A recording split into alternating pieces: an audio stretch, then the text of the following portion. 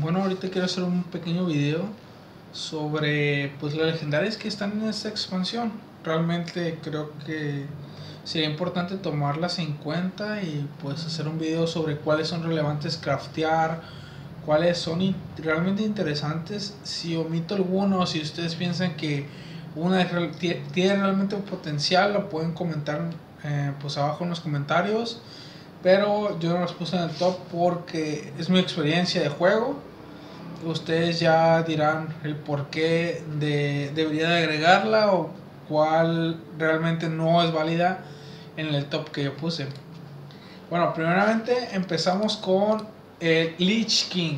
Lich King es una carta muy buena porque puede entrar en cualquier deck al ser neutral. Esto pues si vas a gastar polvo en una, en una carta que realmente eh, te va a servir solo por un deck como los de DK, pues es mucho mejor craftear esta que puedes meterlo en cualquier deck que quieras, en cualquier héroe.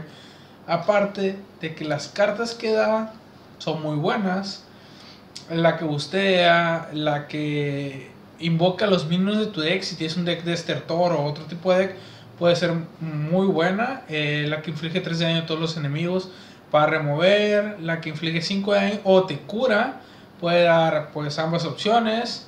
El Grip puede darte un mínimo del oponente que ocupa en su jugada. Por ejemplo, si estás jugando contra un mago OTK, te puede dar inclusive su, antono, su Antónidas y pues le, mmm, le totalmente la jugada. Doom Pack para eliminar a los minions. El arma también me gustó muchísimo a mí porque aparte de que le estás matando al minion con 5 de daño, puede ser que le quites un minion que realmente le puede sacar mucho valor. Por ejemplo, si él tiene un Lich King, le haces 3 de daño o lo que quieras, lo dejas con poco vida, al rango de matarlo con el arma, cuando el arma se destruya, vas a invocar pues el minion que le mataste al oponente. A mí se me hace muy, muy buena. También eh, la última que teníamos que destruir el minion y tomas el daño de su salud pues también es otro removal pues bastante interesante. Otra carta que, bueno, no es un DK, pero es también de clase, que a mí me llama mucha atención, es Lilian Boss.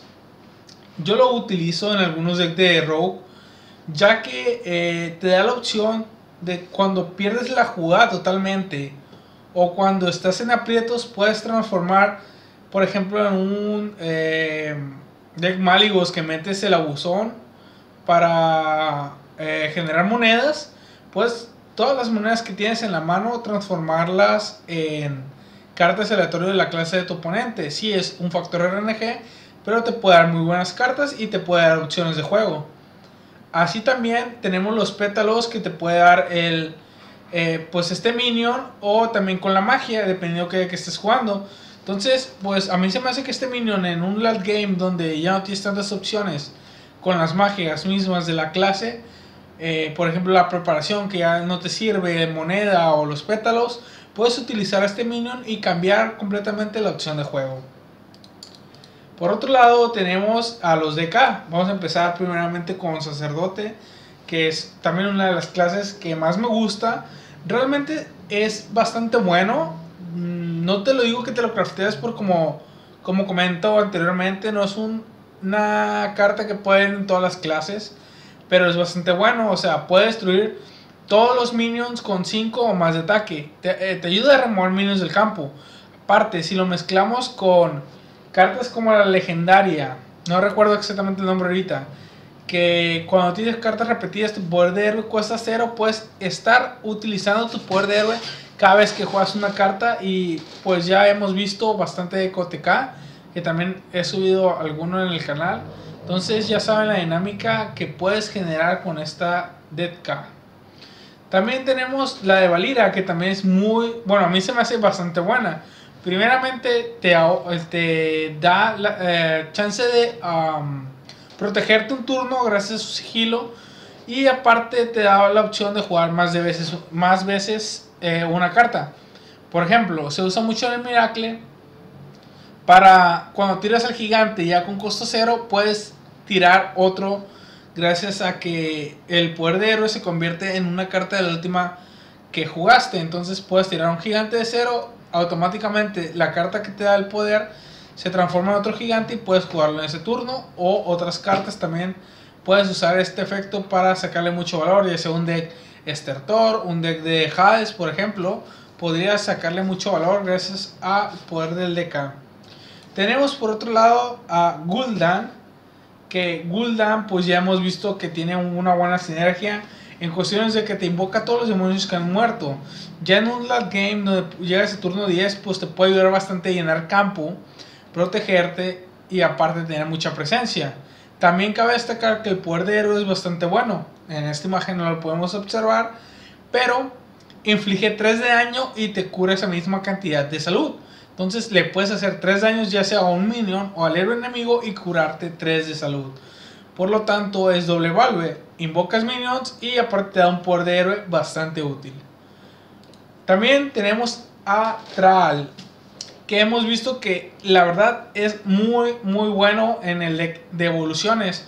Ya que cuando tienes un campo lleno tirando este, este nuevo héroe Puedes evolucionar todos los minions de tu campo en dos niveles más. Aparte de que tu poder de héroe se vuelve evolucionar minion. Entonces le puedes sacar muchísimo valor a Tral. También tenemos a el nuevo Dead Knight de Paladín. El cual te da un arma 5-3. La cual tiene lifesteal. O sea que el daño que haces con el arma te lo curas de salud. También tiene el poder de héroe de invocar a estos jinetes, los jinetes del apocalipsis, que cuando están los cuatro invocados en campo, pues ganas literalmente el juego. Destruyes al héroe enemigo y esto, eh, aunque tu oponente sea un mago con el Ice Block, va a perder automáticamente porque se destruye el héroe, o sea que no le baja la salud. Es bastante interesante y hemos visto también algunos de KTK que utilizan eh, la legendaria que te restablece el poder de héroe cuando tienes una magia. Usa al que te da las monedas y puedes ganar en un turno. También se está viendo mucho en decks de control, de full control, donde pues el arma es bastante buena y aparte siempre es un peligro dejar a esos a esos minions que da el poder de héroe porque siempre tienes el miedo de que invoque los cuatro y te pueda ganar en ese turno. Y por último, eh, otro deck que voy a mencionar es el de Rexar. Ahorita estoy, como digo, mencionando los más relevantes. No toqué el de Druida porque realmente a mí no se me hace tan, tan bueno. Yo sé que muchos van a renegar. Y el de Mago aún no hemos visto cabida en el meta. Más que nada por esas dos cosas. Rexar, pues realmente ahorita no hay un deck factible para él. De momento, uno bueno. Pero está bastante interesante el poder de lo que da ya que genera zombies los cuales tú los creas con diferentes eh, estadísticas y efectos de los minions que elijas. Y eso es bastante interesante porque he visto que en deck de Estertor con Ensot, estos minions que creaste zombies pueden revivir con Ensot, entonces puedes sacarle mucho valor. Eh, como digo, no agregué a los demás y hay varias cartas que omití, por ejemplo, los príncipes, la verdad, hasta el momento no han tenido mucha cabida en el meta. Tampoco el perrito 2-2, que cuando muere te da una carta de Dead Knight, tampoco es muy bueno. Y pues hasta aquí. Voy a dejar el video. Eh, en lo personal, para mí, si se van a craftear una carta, craftense el Lich que puede entrar en cualquier deck. Y el DK, dependiendo qué héroe le guste o qué dinámica tengan, también como las cartas. Pero pues sí son bastante interesantes.